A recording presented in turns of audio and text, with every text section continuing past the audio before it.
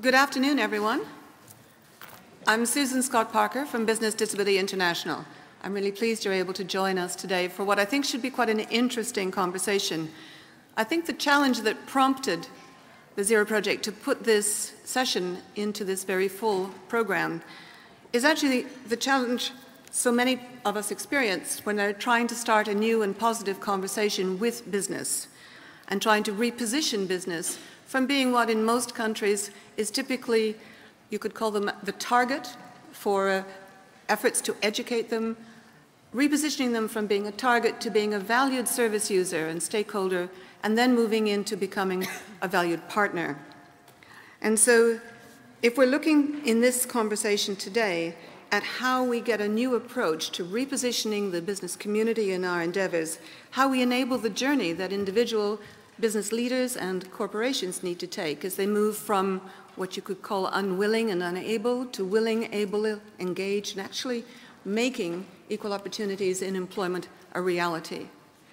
And so we're going to be very strict today, or at least I will, because of course I'm anxious that as many of you as possible have a chance to talk to this very experienced panel. I'm conscious the room is a bit of uh, a challenge. There are people hiding at the back Nonetheless, I can see you. And so I'm hoping that when we come to questions and so on, that you'll be primed and ready to shout them out from the back as well as from the front. So I'm going to start by asking Jane Lu from Standard Charter to talk a bit about her approach to enabling groups of organizations to collaborate to best effect. Jane.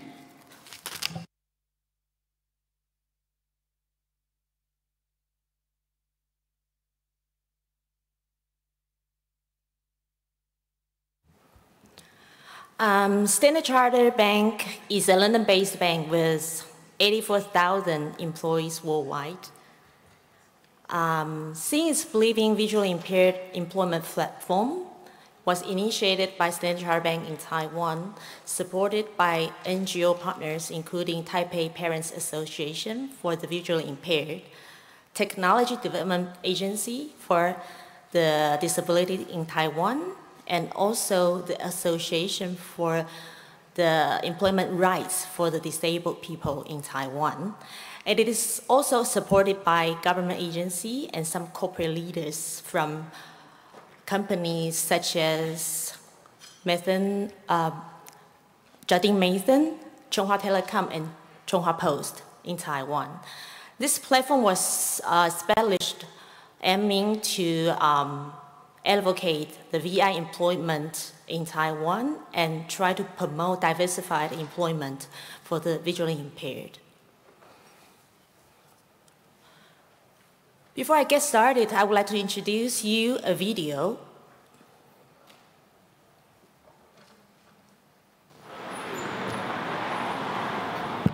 This video actually features the telesales team in Standard Chartered Taiwan, comprised of 10 visually impaired people plus one guide dog. If you see from the video, you can notice and you can realize how important a job means for them.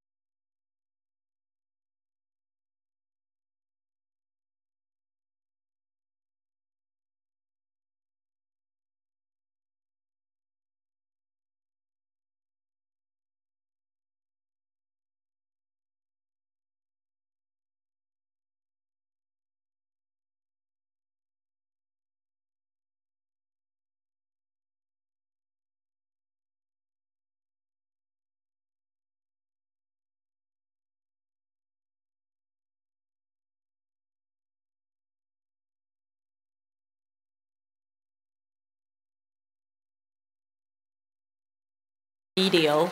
Every time I play the video, people in the audience just cried. It's so touching. And uh, the reason why I'm playing this video is because um, this platform actually originated from this, this video, um, especially the cast in the video.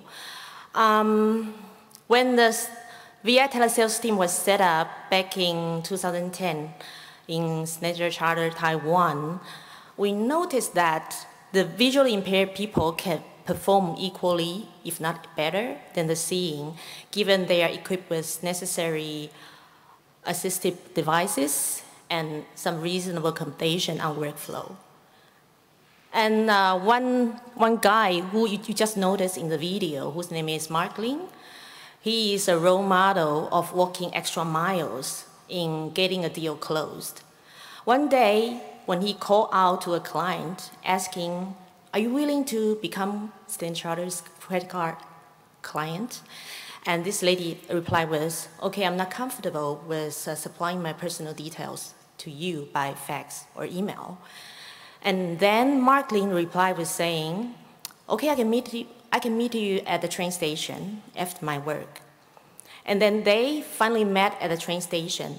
Apparently this girl, the lady, didn't realize that Mark Lin was a visually impaired person and walked all the way to the train station to deliver and to collect the data from the client. And she, on the spot, decided to refer more clients to Standard Charter.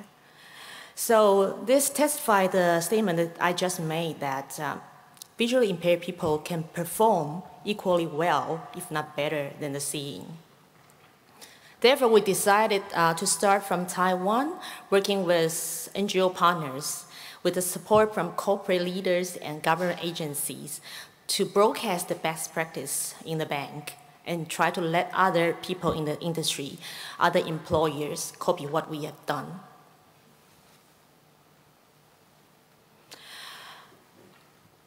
Okay, this is the context of why Standard Charter decided to do this in Taiwan.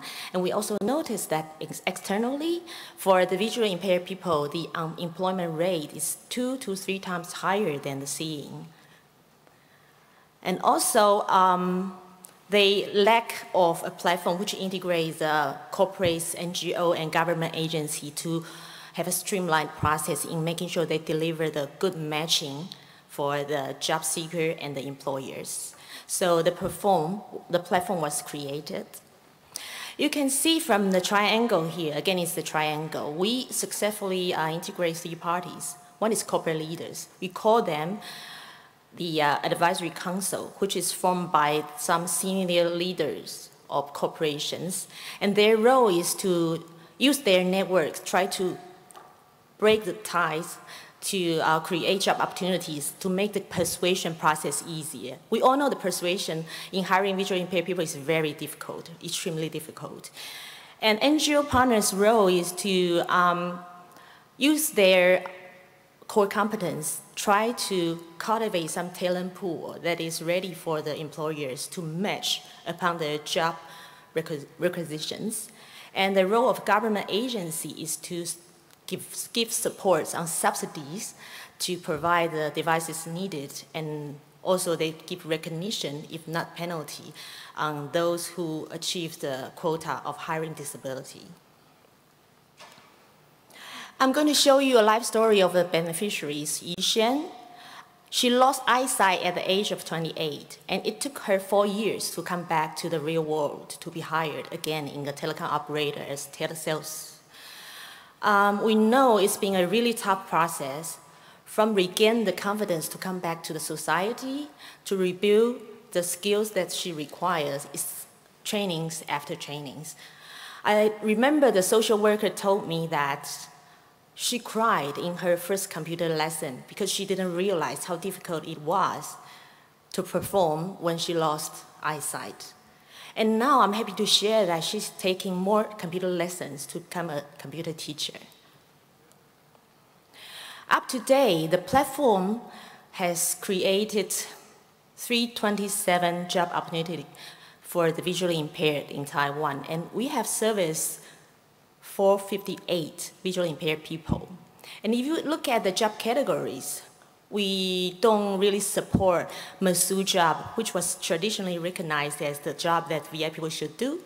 We promote diversified employment. So 44% of that, if you look at the 2016 data, 44% are call center jobs, 24 administration, and 6 IT.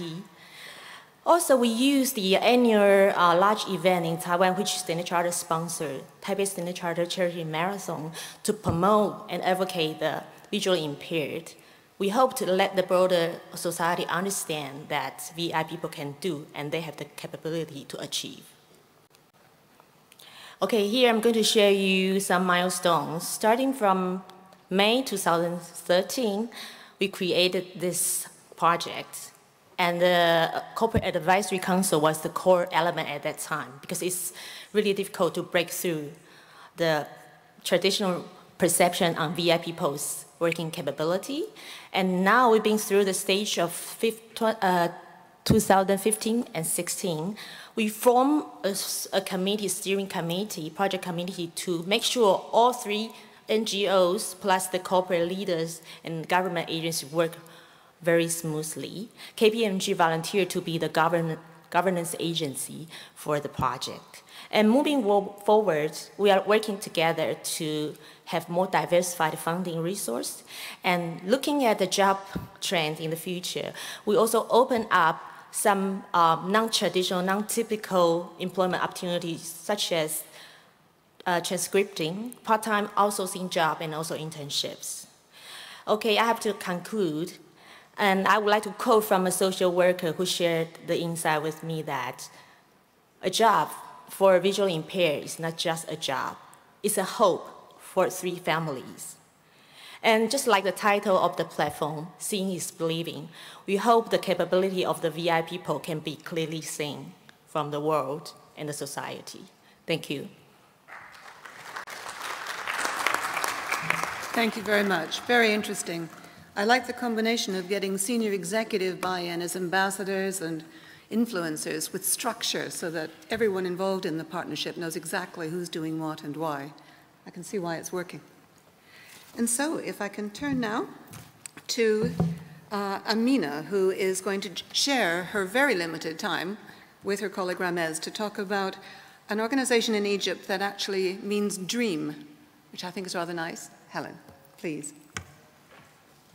Um, hello, everyone. So, first of all, um, we want to tell you how we started because we started in a very untraditional way in Egypt. Um, a lot of people would think, uh, with the economic problems that many countries suffer from, um, they believe that it's difficult for companies to put persons with disabilities as a priority.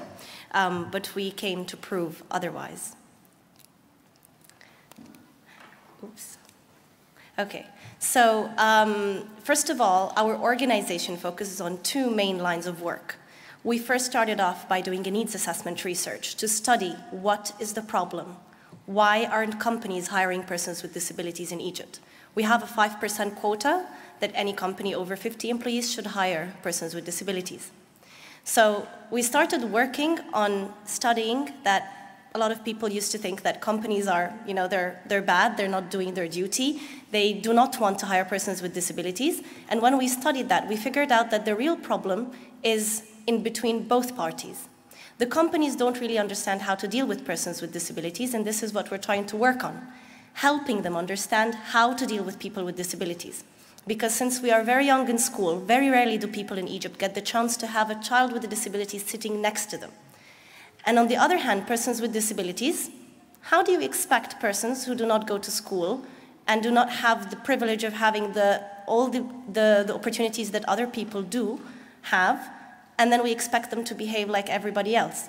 So this is the other part that Helm is more focused on, providing a safe community where people with disabilities can be equal like everybody else and demonstrate that we like to call it as the small Egypt within the larger Egypt that we'd like to see our country turn into. So we try to work with persons with disabilities to secure a job, not just have one. Because when we first started in our first year, um, we were 24 when we both quit our jobs to start Helm. And um, now we're 27, and it's been three years since we started our journey. And a lot of people said that persons with disabilities in the companies would have a job. We had six, over 300, 300 people with disabilities hired in companies, but most of them would leave the job or the employer would you know, let them, uh, let them go.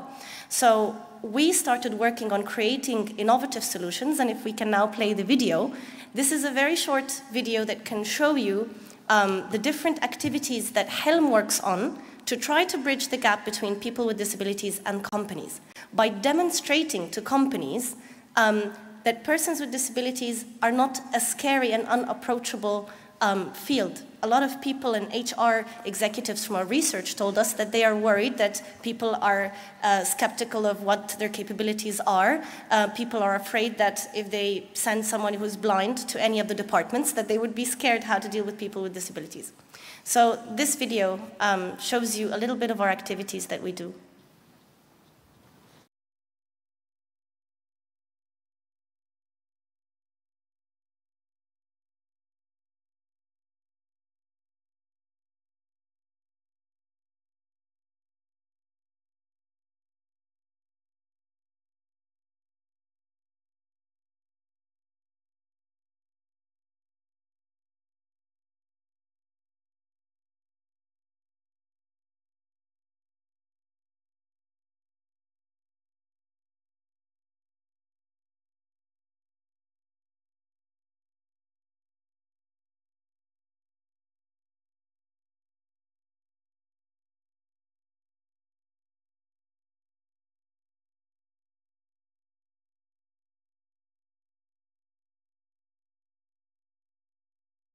From just doing employment and trying to help companies to foster people with disabilities. We work now with over 500 companies. And how we managed, um, if we can actually go back to the presentation, please. I can quickly show you a slide of one of our best case studies, Muhammad Subhi. Um, and we started creating role models. So we discovered that the, how it worked with us is not to just employ as many people as possible with, with, um, within a company, but rather creating success stories or role models, marketing people with disabilities by having persons with disabilities, even one person in one company can change the whole culture within one. And L'Oreal is one of the companies that we worked with to do so. So Ramez will explain to you more about Intaliq. Okay, so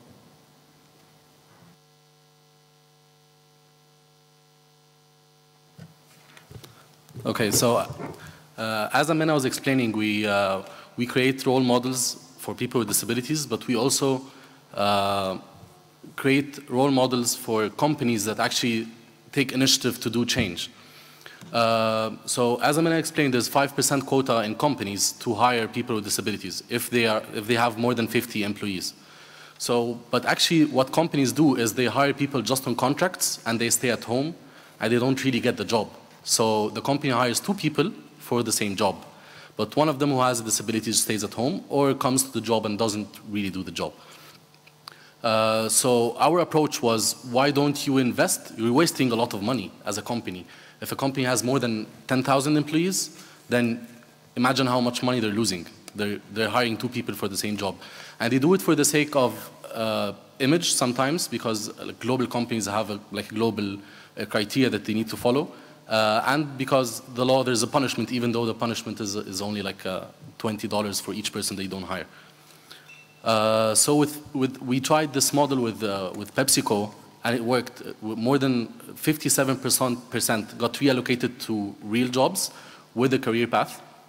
And we replicated the model with other companies. And the beauty of it is uh, such companies started doing different waves uh, independently without depending on, on Helm being there to, to implement such a project. Uh, Intaliq, which is an application and a website, uh, the idea behind it is to, for people with disabilities to locate the accessible locations or companies that they can actually apply for jobs and all other services like the basic needs that everyone needs to uh, like social uh, occasions, places, events that are accessible that they can go to. Uh, but in order to have such locations accessible, our team has to go and assess each and every location based on uh, international standards. We, we, studied our code, Egypt has a code, and we also studied different codes around the world to, and customize it to the Egyptian uh, market. So we, we, we actually help different uh, uh, companies and businesses to go through our process and to know what accessibility is because a lot of people talk about accessibility in Egypt, but they don't know what technically is accessibility. So we take them through the process to help them understand the concept of accessibility and have an accessible location. Uh, Intaliq is a project in partnership with Vodafone Foundation in Egypt. Uh, I'm going to skip this slide for the time limitation. Okay, and um, uh, Helm signed the protocol with the governor of Giza. So the government is, in Egypt is actually now very active in trying to take steps towards uh, accessibility and inclusion. Uh, however, for us it was a, a, struggle because we wanted to have an accessible street with perfect curb cuts and tactile blocks. And we actually designed the first tactile block in Egypt, and it's currently being implemented in two weeks. We'll have the first accessible model of a street so it can be replicated around Egypt. So wish us luck. Um, and this is our team. So we just want, uh, I know they're watching us now, so I just wanted to uh, thank all of them. Uh, they are part of the change, and they are the ones who actually did uh, all of that. Thank you.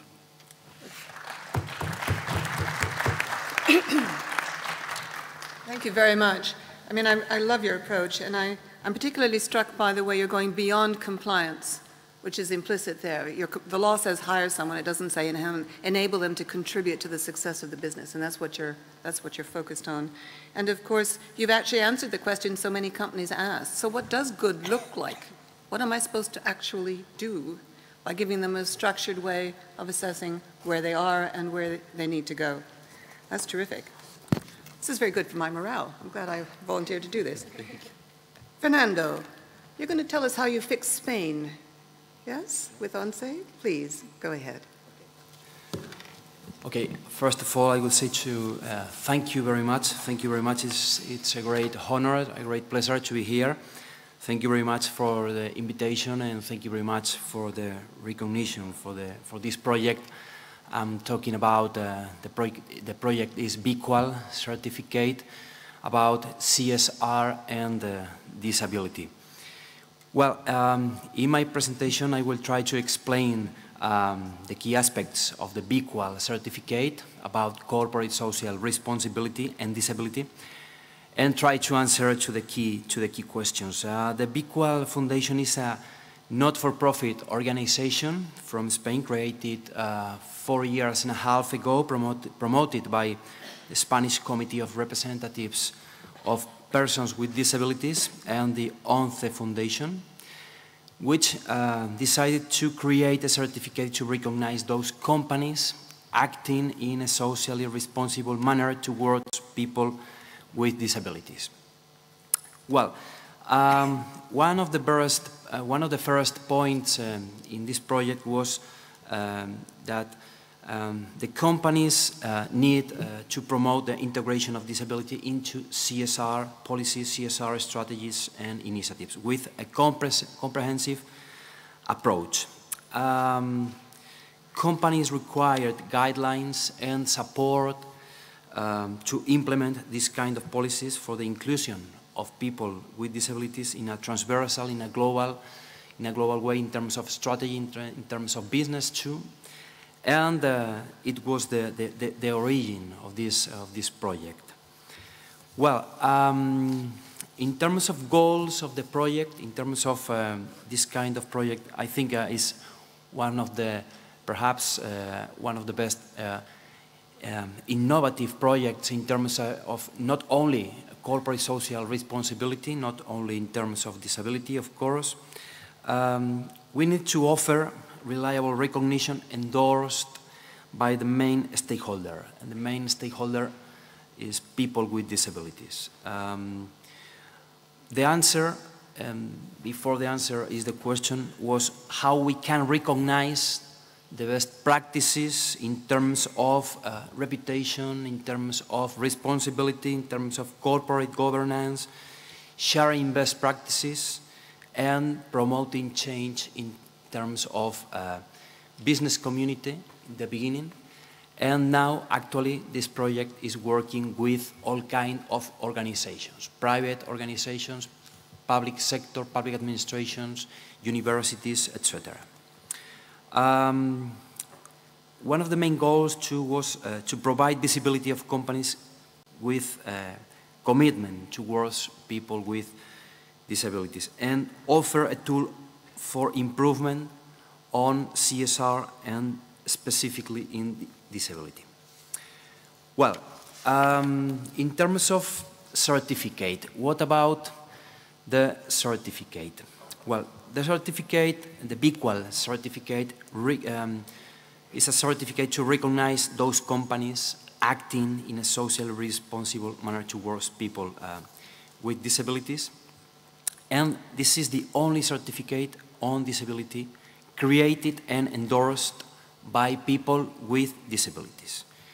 Um, the main promoters and founders is the Spanish umbrella organization representing people with disabilities, ONCE Foundation, and Seliger Econde Foundation. Um, they have been working, uh, contributing with former existing model and certificate of excellence in diversity and inclusion uh, previously. What about the standard? Um, well, the Bequal certificate uh, represents the adoption of a standard structure on seven categories. Um, the main uh, objectives in terms of categories, um, I would say that um, could be strategy and leadership. Top management committed, commitment in, is essential in, in, in all, all kind of organization. HR strategy, the company must not only comply with laws and regulations, but also implement policies promoting non-discrimination and equal opportunities in terms of recruiting process, access to employment, professional promotion and training. And the third one is universal accessibility. Companies must observe universal accessibility not only uh, in facilities and buildings, but also in their communication, internal, external communication with providers, stakeholders, customers, and in the field of health and safety at work measures.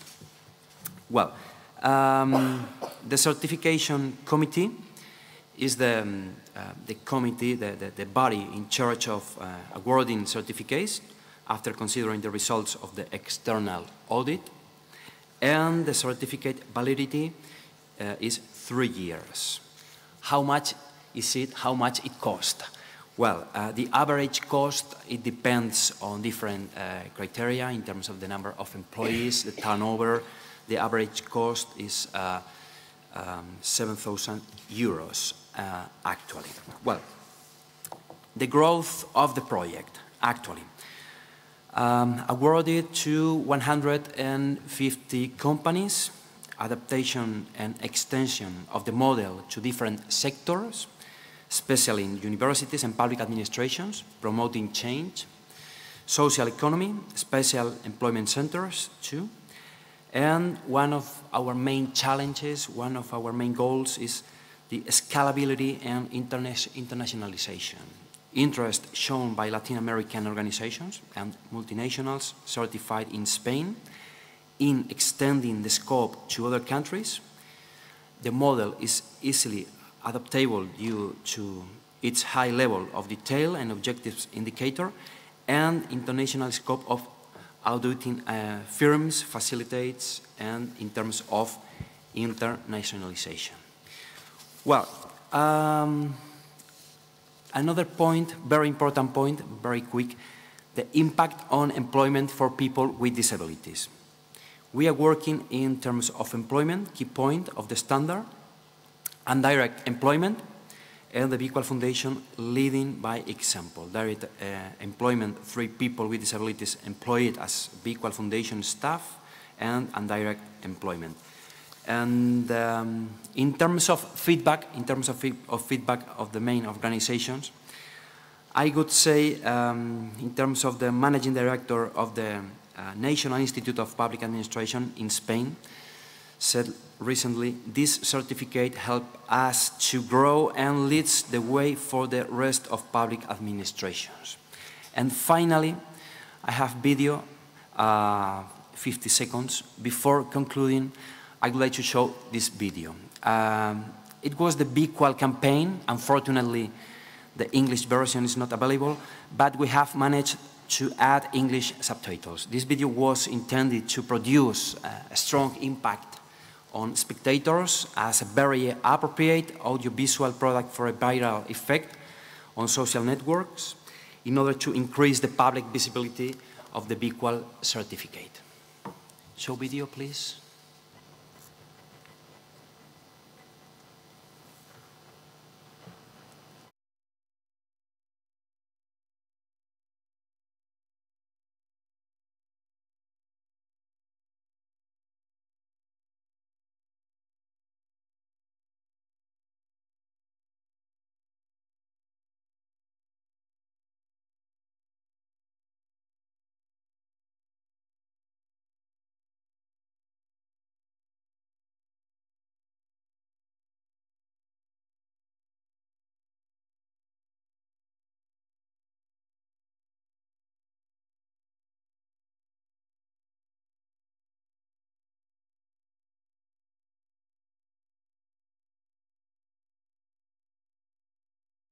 Problems with the sound of the video. The video spoke about uh, that consumers and, uh, and, the, and the, customers um, are asking for so far than, than, than, the brand and what are behind the brands. And the, behind the brands, the consumers actually are looking for values and this kind of values uh, is in terms of corporate social responsibility and in terms of disability too. Thank you very much. Thank you, Fernando. I must say that having it silent meant that we all actually really paid attention. I think it's a technique you should consider in the future. But also, as I listened to you, you raised a couple of points for me.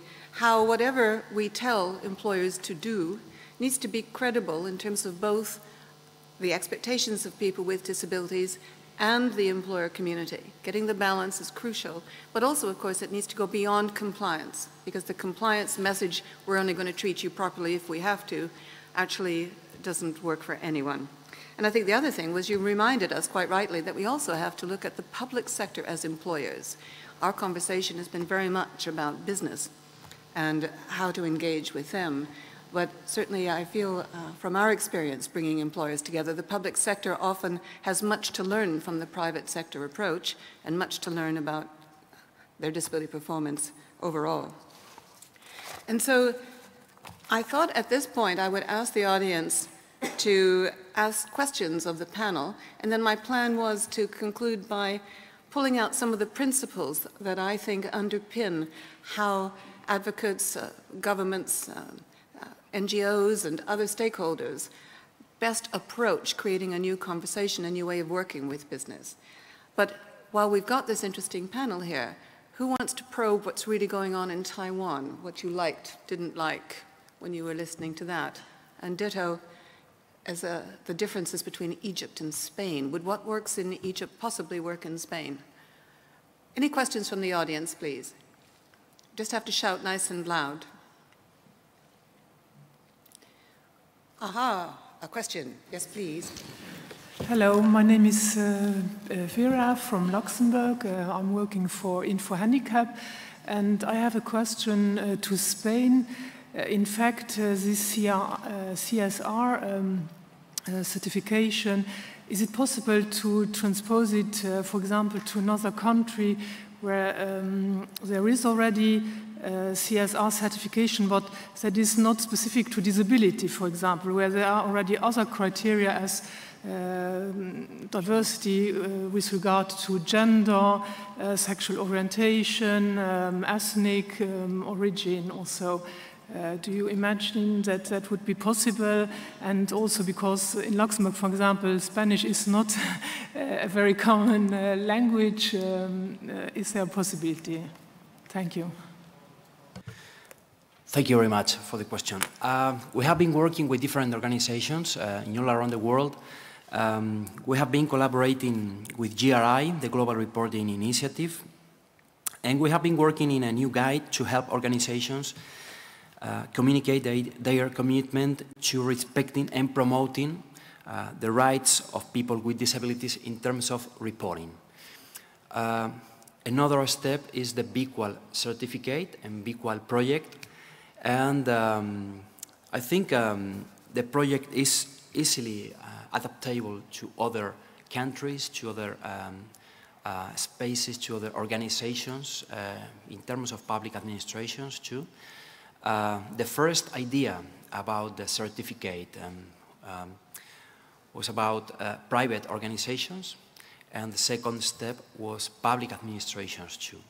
Um, I'm living in a country where the public administration is not any, an example in terms of uh, uh, employment for people with disabilities, in terms of uh, accessibility, and um, perhaps this is the perfect link between, in terms of uh, sharing knowledge and uh, connecting the dots in terms of best practices, not only uh, in, in one country, in a specific country, in Spain, for example, we are working in, and we are trying to um, uh, adapt uh, this model to other foreign organizations uh, out of Spain and in other, in other countries. Especially, uh, we have found very, very interest in Latin America, in other countries too, and we are working with multinational, international organizations. Uh, the last contact has been with uh, the World Bank uh, Uh, to promote a model in terms of uh, financial organizations that uh, are working in CSR in general and disability in particular. Can I come in? Can I ask, what we often find with things like certification or accreditation programs is disabled people become dis disillusioned because actually they're not policed, that there's no evidence that it's changed the behavior of the institution. How, how are you going to police this to keep, does it have teeth? Yeah, uh, very good question. Um, we have, um, we, have we have been trying um, uh, um, to promote um, the, the, the uh, rigorous um, process in terms of audit, in terms of certification. Very different. And um, in terms of evidence too. Um, sometimes we have, um, we have find uh, organizations uh, that they were working very hard and, and brilliant organizations in terms of uh, best practices in disability in general. HR uh, strategy, promoting employment, direct employment, uh, promoting indirect employment, um, and uh, working in terms of accessibility, all kind of accessibility, especially uh, technological accessibility. Uh, this kind of certification and this, uh, this um, kind of evidence um, has been to put on value and to have the general picture about these good practices. Sometimes the practices um, were um, allocated in the HR department, in the financial department, in the corporate social responsibility area as a box, a closed box. Uh, the certification has been in terms of global strategy and the general picture for one organization. And the most important thing, in terms of improvement. So just coming back to our colleague from Luxembourg, is it as simple as translating what you have into the language of choice in Luxembourg? Or would a lot of research need to be done to, to test whether or not your content would need to be adapted? Ditto for Egypt, say. Yeah. Um, Can you just translate it? No. Yeah. Uh, in many cases, um, it's not easy in terms of um, uh, uh, um, the public administration and laws requirement. Okay? And, uh, for example, the quota. The certificate and, and the recognition is not only in terms of legal obligation. Corporate responsibility, corporate social responsibility, sustainability uh, must be so far down the legal obligation. And the certification uh, in terms of excellence, uh, have three uh, levels of excellence. Bequal, Bequal Plus and Bequal Premium. It's an excellent way and a new way for working in terms of how we can improve my organization, my activity, in terms of disability from different areas. Customers, communications, accessibility, external and internal engagement, uh, marketing, um, and global strategy in terms of leadership and strategy. Excellent. Well, it sounds to me like it would be a good way to bring key stakeholders together to review what they've done in Spain and ask the questions about why it wouldn't work in Luxembourg. So it's a way of actually joining people to the thinking. Sounds very productive. Thank you for that. And I had another question here from Silvana from the Lebanon. Um, actually, Susan, I was thinking, uh, talking about the uh, Spain experience. Uh, how how can we like uh, encourage other private sector uh, who are working with CSR to actually systemize inclusion within their reports because uh, remember when we were asking many of those who do have CSR and they, they always say, yes, we do report, but the report does not include at all any indicator about inclusion. I, may I ask another two quick questions? One for Egypt.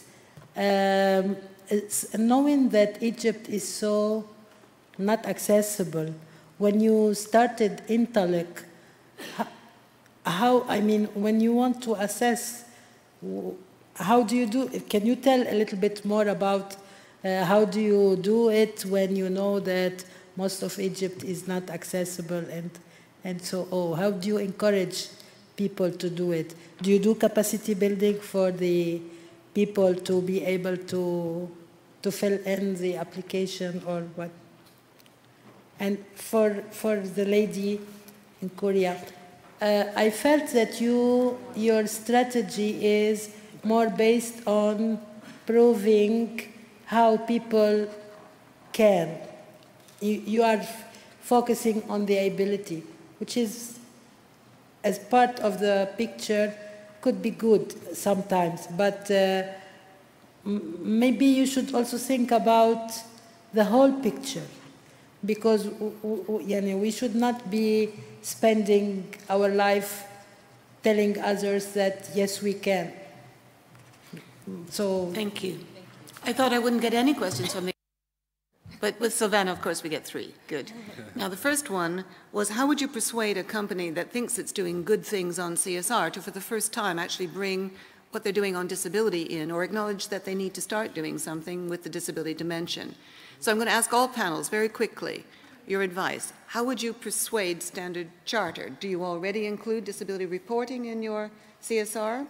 Maybe that's not the question. How would you persuade another company to do it?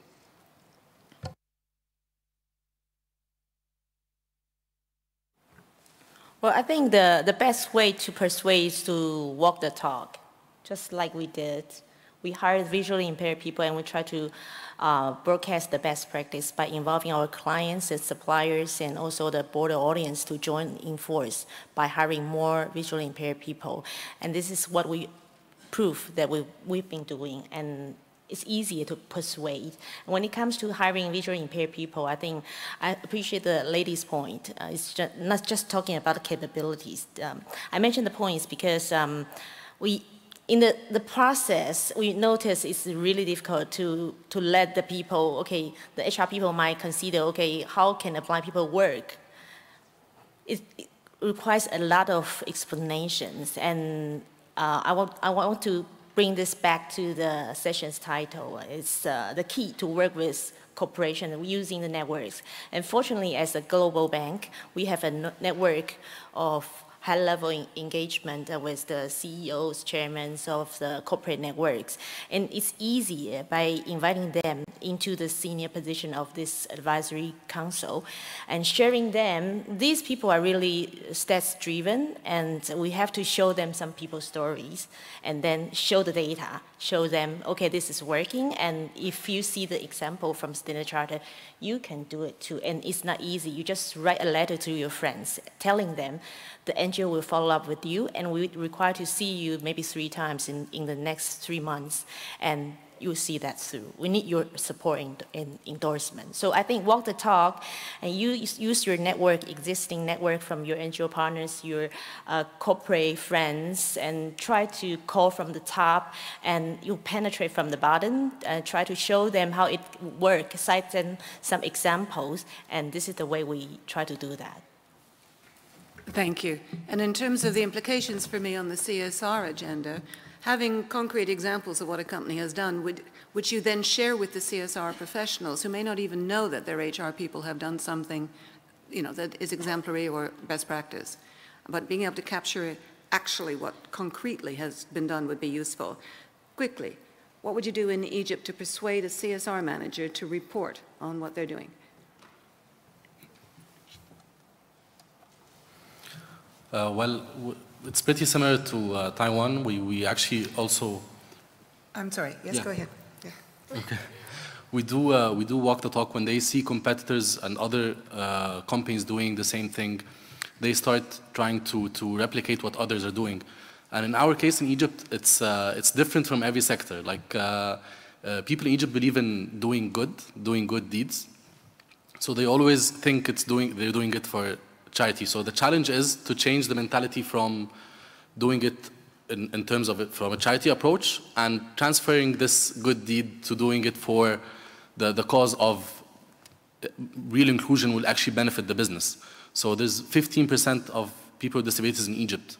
So if people with disabilities do better, the economy will do better. So this is how we, we try to uh, sell it to companies. Mm, And I want to also get back to the question that Sylvana asked about, you know, the how the Intaliq process goes or how we go through, like, how a company would ensure that their premises is accessible. We actually work with both the private and the public sector. So since we started the project, um, we basically take each location or venue and we start assessing based on the ADA checklist. So we refer to international standards. And then we go, our team goes and checks every single question from the doorknob to the, to the, to the blocks to everything from the parking, um, all priorities. And then we present a full detailed report. We provide them with a checklist if it's correct or if it's wrong, what they need to change, and the priorities, and how much it would cost them to do that in Egypt to make it so simple for them to make a decision. And then we actually provide a consulting session for the company or the government in order to help them make the decision on which needs to go first, depending on their budget. Eventually, this report, our team translates it into an account on Intaliq application and website. So people with disabilities can access every single location. So per se, they want to go to a pharmacy. They can choose which pharmacy they they want to go to based on how accessible it is. They click a button depending on their disability, if they want an assistant, if they want um, to check how, how accessible it is. And then they can actually see if it's red, green, or yellow. And based on the accessibility, and then they can go to details. So we have written in very short sentences if the ramp is the right inclination, if the door is, is not wide, if the bathroom is accessible, if they're, whatever the measures are. So it's a very detailed for both the company and for persons with disabilities. And this is how the app works, and it should also help with tourism for tourists with disabilities. You are talking to someone with a real interest in tourism. Excellent. Fernando, how would you persuade CSR leaders to take credit for what they're doing on disability?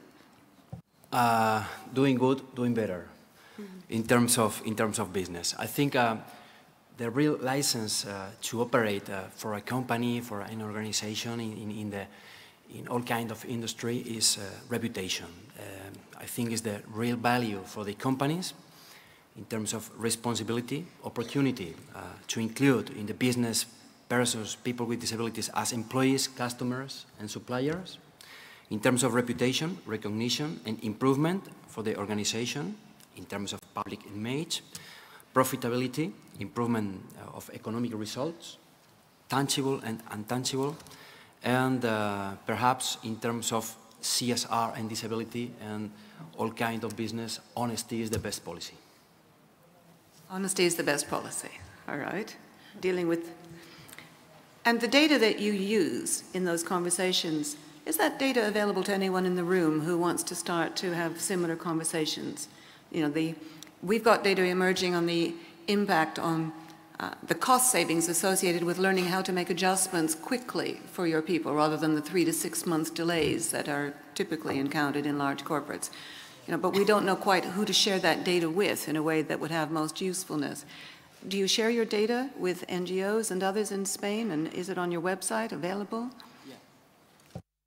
I think um, is the, the key point, perhaps, um, comparing the past, the present, and in terms of future, I think is the, the, the key point and the key goal to share space, share knowledge, and linking the dots in terms of knowledge and experience. Perhaps uh, one of the best practices could be in Egypt. One other uh, best of the best practices are in, in, the Business Disability Forum, and the other one is in Taiwan.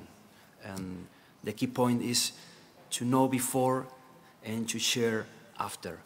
That's the key point in terms, in terms of collaboration between NGOs and the business community, for example.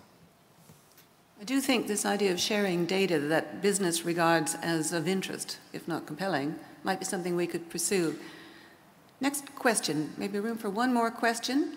Um, try to keep down from three. Could we go with no more than two each here? Yes, here and then here, please. Could you just say who you are? Thank you, Susan. My name's Helen Green. I'm with the Australian Government. I love the idea of your app, and I'm hoping that you can talk to me a little bit more about it. It sounds fascinating. Um, and what was the impetus behind it? Um, is it something that you that, that's uniquely that you think is uniquely Egyptian, or would it translate anywhere else? Okay.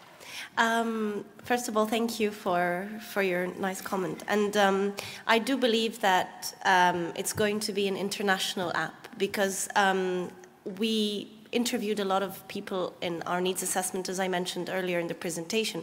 And the key point that all the people with disabilities need is that they need to access education. They need to access opportunities. Everything goes back to accessibility.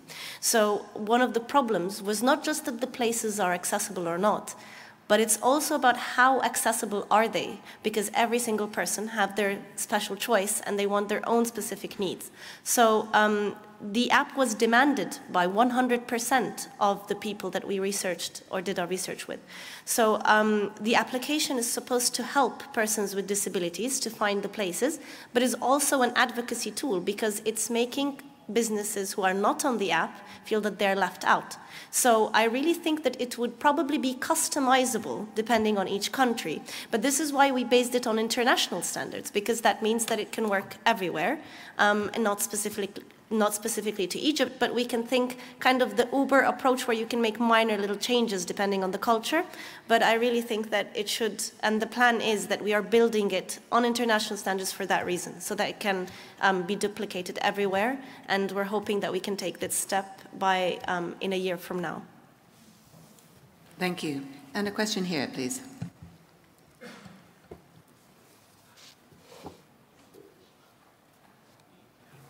Hello. Okay, uh, Mukhtar Al Shibani, I'm from uh, Gate. And my question to uh, Maher and uh, Amna regarding uh, their beautiful experience that they had uh, for the last year uh, in, in Cairo. I know Cairo is a very big city and very difficult to work with in it actually with, with either the government or the NGO on the private sector. Uh, my question is regarding um, uh, the transportation.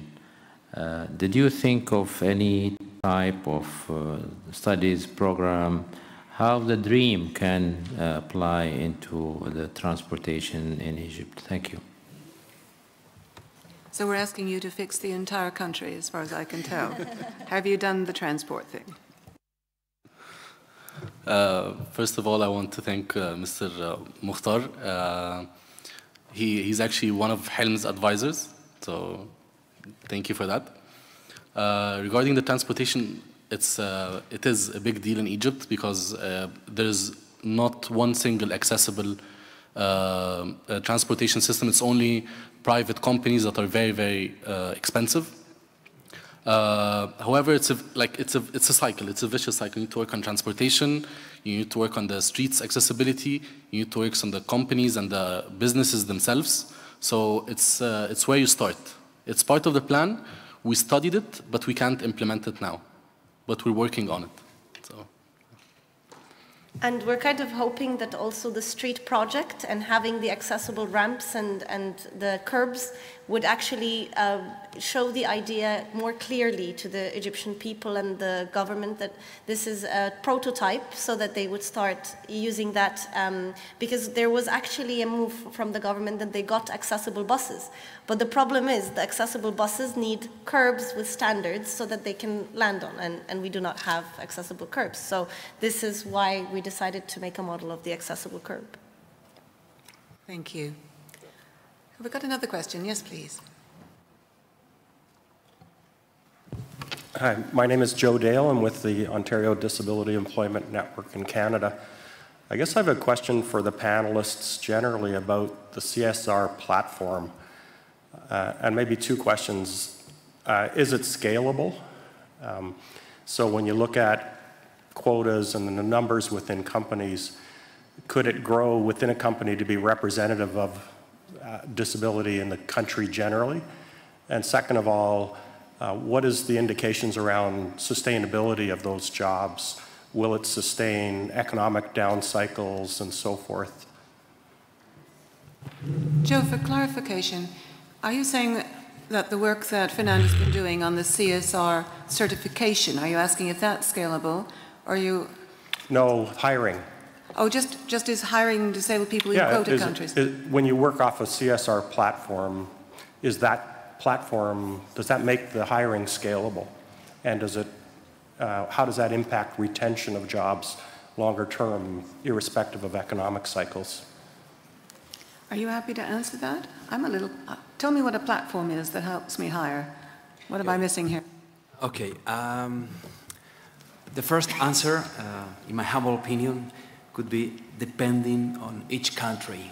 And sometimes in one country we have different uh, realities, different regions and different uh, uh, situations in, in, in, this, in, in one country. Um, the second one is um, training, training and training and education in terms of CSR and in this case and according to my experience in terms of disability, disability too. We have been working um, in different platforms in, in Spain, in Europe, um, with all kind of companies. Uh, we were the promoters and, and, and, one of the founding partners of the European Network for CSR and, and Disability Network. And uh, the experience uh, is that everything is possible. Um, we have to believe in, in, the, in the final result, in the final image, in the final picture. And um, is possible to adapt and it's possible the, uh, is scalable uh, the, the, this kind of, of projects. In terms of CSR, and thanks to CSR, in terms of disability too, I think. Thank you. And I know Jane from Standard Charter would like a word. I think this gentleman has just raised a great question, and this is the question we've been asking ourselves together with the NGO partners. I think uh, in terms of the scalability, um, it can be addressed in several dimensions. The first one you can think about, for example, in our, in our case, we start from visually impaired em employment, and this can be expanded to other disability. And the second, geography. You start from one city, and this can be duplicated to the other city or the other countries. And uh, also the cement, uh, demand and supply side, I think this, um, this is something a bit related to the sustainability. Because uh, in the talent pool, we also notice in our experience that sometimes even the corporates, they manage to open up a job opportunity for the visually impaired people, and we don't have the good talent or suitable talent to fill in that position. So the pipeline, if you are just looking at one disability category, uh, I think this is something you have to think about. And as a corporate, we won't say we are the best person to address that part. And this is why we work, we work with NGO partners. Thank you. And of course, this message of whether or not you can get the balance right between the corporates saying, all right, give us suitable candidates and finding the candidates. That's the essence of the sustainability game for me. And that's a, an issue that has to be dealt with by every stakeholder that's concerned with this. I wanted to, to take the final nine minutes to just try to pull out some of the principles that I think underpin effective collaboration between the disability sector and the business community. I don't know how many times I've been asked, how do you persuade a senior business leader to come to dinner? The real question is, how do you get him to pay? But that's a different one. and so I thought if, you, if it's all right, I want to just go through, and some of it relates here to what I've heard very much. I, you know, and in particular, as I look at your access issue, I'm so struck by the potential for creating jobs for people with disabilities who act as access auditors and access experts using your app as part of their toolkit and so on. You know, I think if we look creatively at the impact of the convention and that focus on the built environment, I would be starting to train up people who could then help with the accessibility issues inside the corporates. However, if I look at what we're really trying to do when we're talking about engaging business, I think at the heart of it is building the relationships which help us to understand the needs and reality of the business community so that we can make it easier for them to say yes. Now, my premise here is that making it easier for the employer to say yes I will engage in terms of CSR investment in a new training program. I will hire. I will uh, adapt for my employees, for my customers. If the employer, all the investment in helping the person with a disability, I would argue is wasted if the employer says no.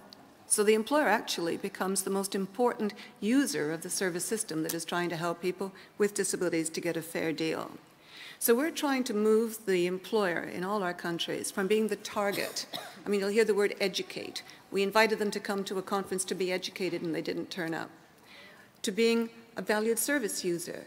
We design services that help the employer to quickly fill particular vacancies with the right people at the right time.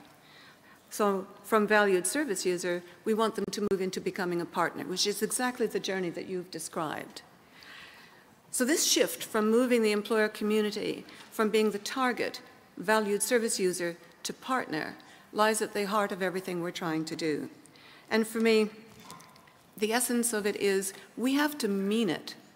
We have to be seriously saying to the business leaders we're talking to, we do value you.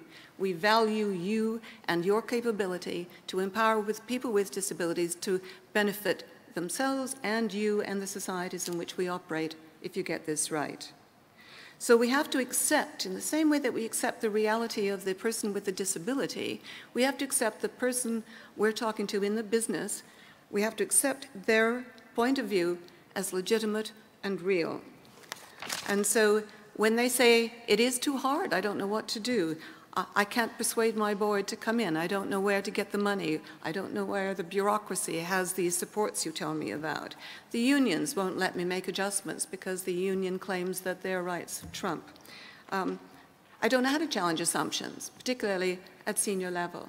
When they say those sorts of things, there's an often, you know, the reaction is, well, that, that can't be true, for heaven's sakes, you know, stop it. But actually, those are all authentic, legitimate, and we can't build relationships with people if we don't accept their point of view as being legitimate for them. We're not trying to influence corporations in a funny way. We're trying to influence human beings who work inside large corporates. So just as we say, don't generalize about millions of people with disabilities, I'm saying don't generalize about business leaders. You're trying to find individuals who, because of personal value-based circumstances, experience, who have an interest in their corporate responsibility agenda, who are beginning to see the impact of treating people with disabilities fairly on their business bottom line, that there is no conflict there. I think you're looking for those individuals, and you have to make it easier for those individuals to then explain to the people around them why the company should be doing things in a different way. Some of you will have heard Pat from Cisco. Think of him. You've got guys like him inside these companies who are trying to find a way in a company that has never thought about doing what we'd like them to do before, to get the right people motivated to do the right things. One of the most important things that we can do with a business community is to ask their advice. Not tell them that they should do better and why haven't you done that and where are you, but to say, what would you do in my shoes? You know, here I am in Dublin, I, I want to help people get into a job. What would you do if you were me? How can I make it easier for you as an employer to get the right person with the right skills in the right place? I say Dublin because an agency did precisely that in Dublin.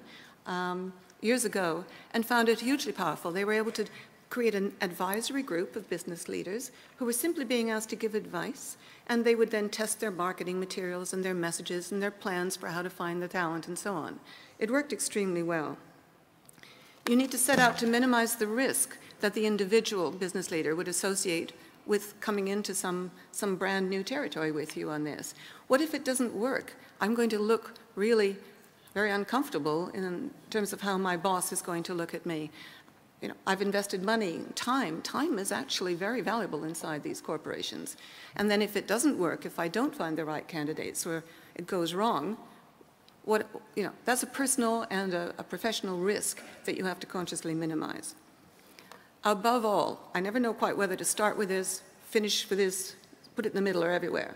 Above all, Nothing will change in terms of our relationship with business leaders unless they're meeting more disabled people as opinion leaders, change advocates, graduates, interesting, working in theater. I don't know what they're doing. The point being that it's, you need a conscious face-to-face -face strategy that says everything you're doing with business means that it's going to be more likely they're going to meet an interesting person with a disability in non-threatening conversations, not, not where they're coming under attack because they haven't done it, or this really scary conversation, of course, which is, I want a job. And often that's the only conversation with a business that's ever been had is, why don't you hire more disabled people? Uh, they don't apply. Uh, who are you talking about?